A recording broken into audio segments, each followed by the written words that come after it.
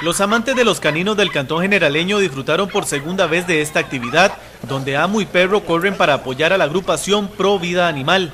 Todos los recursos de esta actividad son destinados para campañas de castración, donde se ayuda a mascotas en riesgo y familias que no pueden realizar esta cirugía a los caninos. Tratamos de hacer actividades donde podamos recoger algún dinerito para poder castrar, que es nuestro principal objetivo, eh, castrar a todos los perritos de la calle, digamos, y a, los perritos de las personas que no tienen muchas posibilidades económicas o que tienen muchísimos y no tienen tantas, eh, tanta capacidad económica como para castrarlos a todos.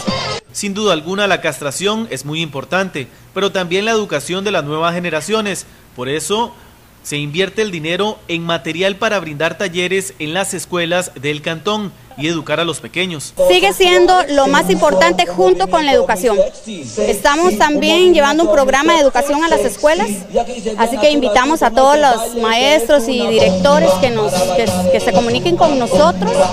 Este, nosotros tenemos Facebook, se llama Provida y ahí nos pueden poner un mensajito que se comuniquen con nosotros. Damos charlas a los niños en las escuelas sobre el eh, en contra del maltrato animal.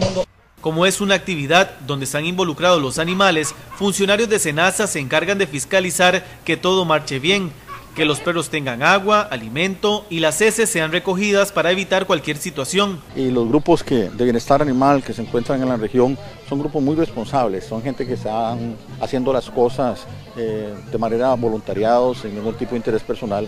Y lo menos que pueden recibir de parte de nosotros es el apoyo. Entonces, en primera instancia, mi presencia aquí es un apoyo al grupo Aprovida y a la doctora eh, Mirena Elizondo sobre esta actividad tan bonita que ellos están desempeñando. Segundo, como responsables de la parte de bienestar animal en el país, nosotros tenemos que, eh, velar porque esas, las normas y procedimientos se estén cumpliendo. ¿verdad? Esta actividad se llevó a cabo el domingo 8 de febrero en Plaza Cañaveral, en Palmares. Si usted desea más información sobre los talleres, se puede comunicar al número de teléfono 2770-2074.